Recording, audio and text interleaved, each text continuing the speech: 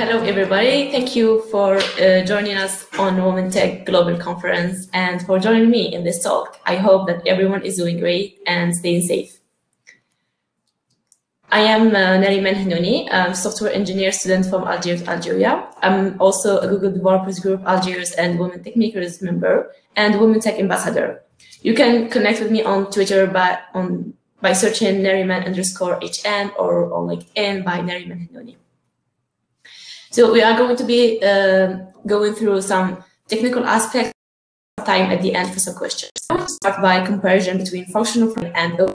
Functional programming is about writing procedures and methods that perform operations on the data and given the same exact input in the function, we always get the same results. So the codes uh, in the file are executed one after another.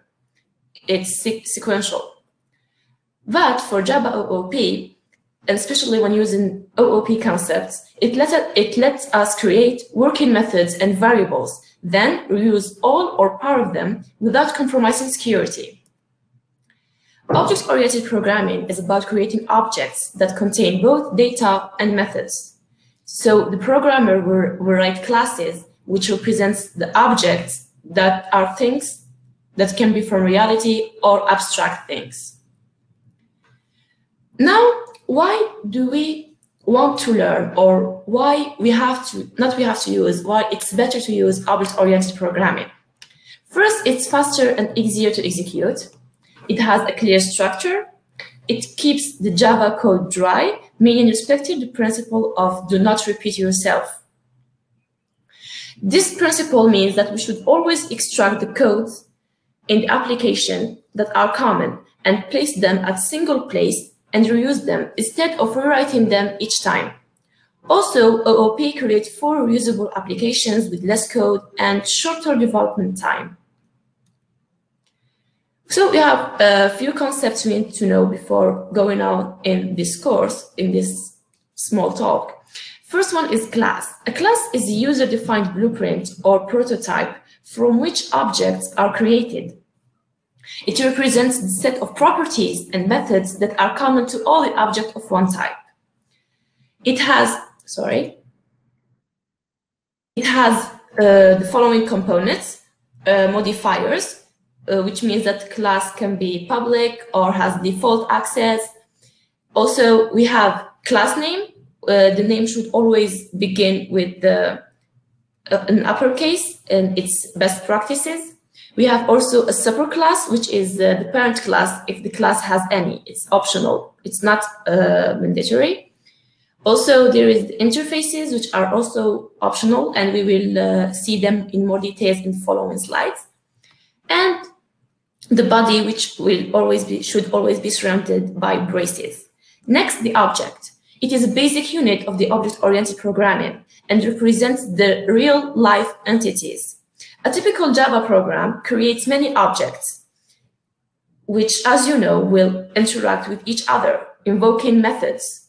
The object consists of a state, which represents uh, an attribute, its characteristic of that object, also the behavior, which is represented by the method inside that object, and the identity, which is a unique name given to that object and enables it to interact with other objects. And lastly, the methods which uh, we have invoked in object and classes are uh, the way the objects behave. It performs specific tasks and uh, can return nothing or return something to the user. If we are going to see an example of class and objects, uh, let's call the class car. It's general model and object are instantiations of that class. For example, you have Mercedes, BMW, Audi, these are all instantiations of a car. Now, junior and entry-level developers usually have to answer this question. What are the main principles of object-oriented programming? Because it's an easy way for the interviewer to tell three things. Did the candidate prepare for this interview? Well, it shows a, seri a serious approach from the candidate if uh, the interviewer gets an answer immediately Second one is the candidate passed the tutorial phase because understanding OOP principles shows that you have gone beyond copy and pasting from tutorials. You are already seeing things from higher perspective. And is the candidate's understanding deep or shallow, as we say that you have more understanding of fundamental things. The four principle, the four principles of object for object-oriented programming that we are going to pass through today are encapsulation, abstraction, inheritance, and polymorphism. Starting by encapsulation, meaning that sensitive data should be hidden from the user we do this by declaring, by we said that class has methods and variable inside it. It's, they are encapsulated in it. So in order to ensure the privacy, we do it by declaring variables and attributes as private. We also provi provide public getters and setters to get these variables since they can't be accessed from the outside. This way, we are making our code uh, more flexible because you can change only part of it without affecting other parts, and it increases the security of data. Here we have a class called cat. It has private uh, variables, which are mood, in hungry, and energy. Uh, by the way, if you can't see the slides very well, you can double tap on them so that um, the slides will be bigger. have class private method classes can't tell the cat when to meow. Instead, they can use the public methods like sleep, play, and feed. Each one of them modifies the internal state somehow and may invoke the method meow. So we are binding between the private state and public method. Uh, Java written code example here, we have class of employees count we can see we are uh, doing encapsulation by uh, using the private uh, keyword and the public keyword. Pri we have made the number of employees private. I have made the uh, private, and uh, the others are uh, methods are public. So then we use a public class called encapsulation example, which in which we will run our code. This public class will have, uh, in Java, uh, we always have to, ha we always need to have a main class to run our objects and our code. It has a, a declaration, uh, which is the following, public state, static, void main, and between parentheses, string arguments. So what we have done here is that we instantiated, instantiated the class of employees count, and then we wanted to change the number of employees. Since it's private, we can't access it. We, we are obliged to use the public method that we have written, which is set number of employees. And the same way for getting it, we have to use the getter, which is get number of employees. The second principle is abstraction. Applying abstractions means that each object should only expose a high-level mechanism for using it. So Let's imagine that you have bought a new Tesla and you are going to drive your car for the first time. Would you want to know the minimal details for you to get going? Or would you want to understand all the details of the car and how the car works internally? Well, mostly the first. You don't want to know how car works in specific details in order to drive it, especially Tesla. So as a user, you want a minimal interface for you to control the car. By employing abstraction at the class level, the CDE would have abstracted away all the internal details of the car and kept the user experience of the car simple and friendly. This is what abstraction means.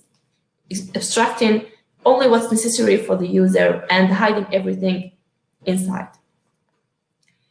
Now, uh, we are going to see how we can form this abstraction, starting by abstract classes. Abstract class cannot be instantiated unlike other classes. It's always declared with the abstract keyword.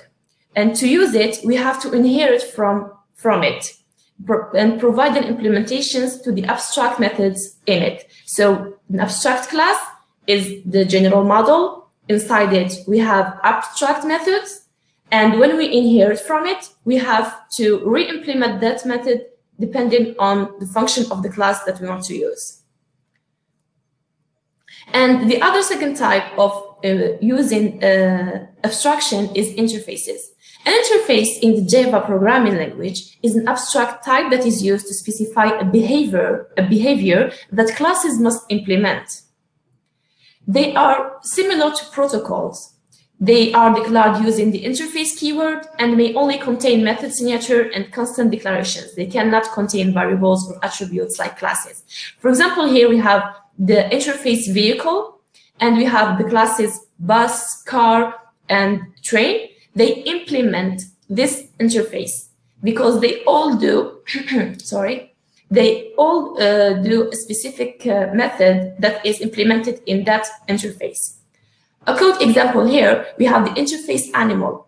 We know that all animals have specific sound and they sleep, but it depends on each animal how that sound has. So, for example, for the dog class, to use that those methods, it has to implement the interface animal using the keyword implements. Then we uh, use, we call the animal sound method and re-implement it by saying that the dog says woof woof. It will, if it was another animal, for example, a cat, it will say meow.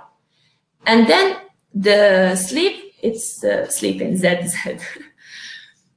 and here in the main, where we said that we always instantiate our classes in the main function, in main method. And when we instantiate the dog class, we call the method animal sound. We have an output of woof. Another, uh, the third one, the third principle is inheritance. It means that you create child class by deriving from other, par other the parent class. So we are forming a hierarchy. Because objects are often very similar. They share common logic, but they are not entirely the same. So inheritance came to let us use the, reuse that common logic and extract unique logic to separate classes. Meaning here, for example, here we have uh, the class um, person, which is the, the parent class. And we see that teacher and student both derive from this class because both teacher and student are persons, but they have few things different. For the child class reuses all the fields and methods of the parent class and can implement its own to make it unique. So this way, each class adds only what is necessary for it while you're using common logic with parent classes.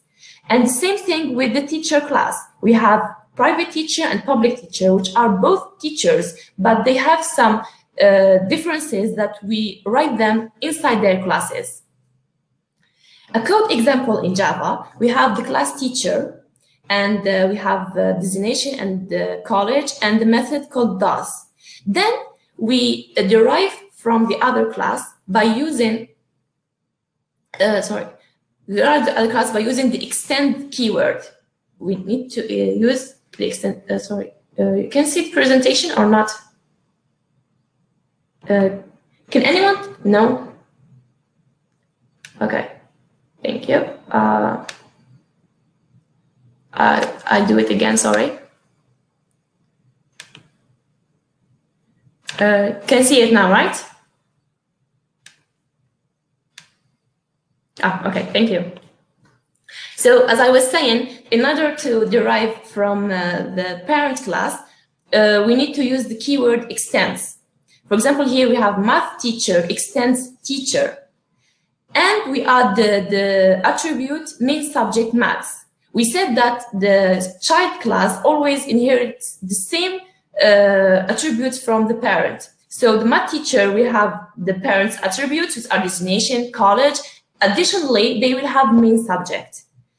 So in the main, we are instantiating the object, uh, the, the objects from math teacher, and we are trying uh, to see if it has the college designation and main subject so that we make sure that it has inherited them. So as you can see, the output will be beginner book, teacher, math, and uh, by invoking the method does is teaching. And the last principle we are going to talk about is polymorphism. Polymorphism means many shapes in Greek. This typically happens by defining a parent class, a parent class or interface to be reused. So it outlines a bunch of common methods. Then each child class implements its own version of these methods. If you can see here, I don't know if you could understand the meme, but when the father tells you something, the son has specific answer. But when the mother tells the same thing, the son has another answer depending on who is calling it. Um, well, for example, here we have the, the interface uh, figure, figure interface, and we have uh, three objects like triangle, circle, and rectangle. And they are all figures, but each one of them uh, behaves in different way. For example, if uh, we are going to calculate uh, the surface of that figure, of course, a triangle surface and circle surface isn't the same. So we uh, put the declaration of uh, the method calculate surface in the interface, and then each class will re-implement it uh, depending on how it's going to use it. And the co another code example, we have uh, the abstract class animal that has abstract method called animal sound. Then we have the lion extends the animal. It will re-implement the animal sound to call it roar and the dog will re-implement it called wolf. So if we have, for example, a list, we can uh, say that it's a, a, list of animals because both lions and dogs are animals, right? And then if we call uh, the first uh, case, we call the animal sound. It will check whether it's dog or lion. If it's a dog, it will call a wolf, and if it's a lion, it will call a roar. So we are uh, doing uh, all these uh, subclasses have common actions, but there were there are different ways to use it. This is a perfect example of polymorphism, which allows us to perform a single action in different ways. So I hope now you can know a little bit more about OOP and OOP principles. Thank you very much uh, for uh, your attendance and following up with me. And I'm welcoming any questions. I think we still have three minutes, and I hope uh, I can answer you, answer the maximum person of you. Yeah. You have a link to the slides. Um, I could share with them if you just leave me your email or anywhere I can uh, get you, and I share with them. So how to decide if we should use interface or we should abstract function. Uh, okay, thank you. I'll copy the email. Hmm. Java 2, we can communicate and try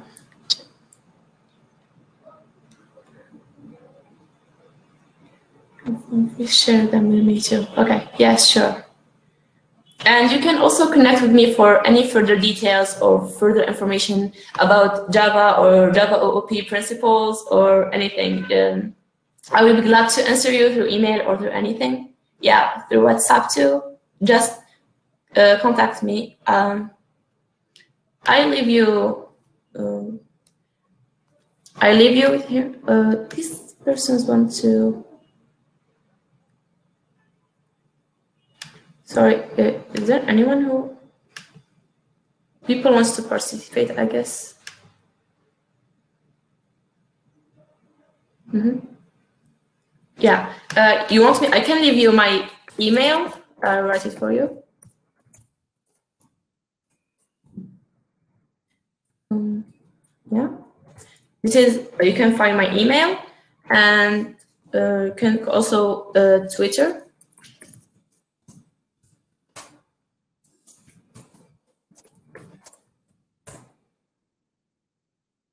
Uh, any other means you want? Yeah, LinkedIn, sure. It's Narimane. Yeah. I hope it's good. No problem at all. Page model. Uh, yeah, uh, I have sent where you can connect with me earlier. Yeah, uh, for uh, trying to learn OOP, I'm telling you, it's uh, nothing more than just what I have showed you. It's few principles, few basic principles that you need to use uh, during your uh, learning and programming process. Uh, the best tip, as always, in programming world is to try, is to develop, is to apply. Like I, maybe you you think that you have understood everything just by reading, but when it comes to applying it, you really uh, find the difficulties that will make you to learn more and make it more memorized. So yeah, as I as uh, Noor said, learning by doing. Yeah. So you just have to practice it and uh, don't be shy to ask other people. It's not bad to not know. Uh, we are all learning. Maybe you don't know this thing, but you know other thing that other people don't know. You should always ask other for help and do your best to always improve and learn more. Like, And for example, reach me or reach anyone uh, for any problems, no matter how small it is. Sometimes you are just tired at all and you can see what the problem is and we have to help each other through this. No problem at all. Thank you. Any more questions?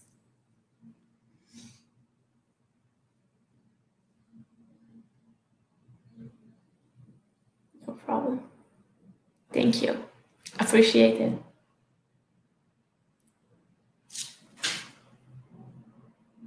Mm. Thank you.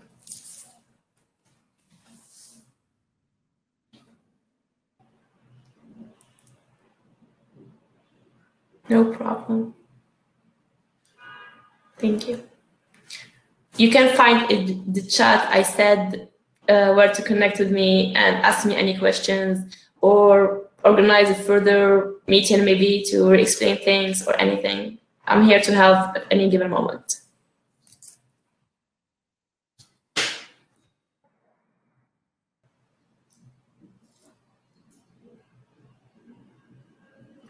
So if no one has any further questions, uh, my most memorable coding moments, right?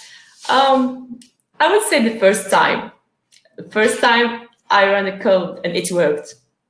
It was just by printing the hello world and it worked for me and a happiest girl in the class and it made my day.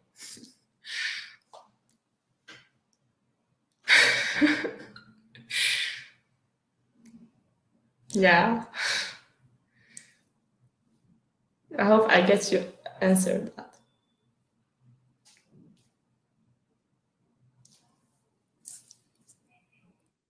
If no one has any more questions, um, enjoy the rest of the event and I wish you luck for everything for the rest.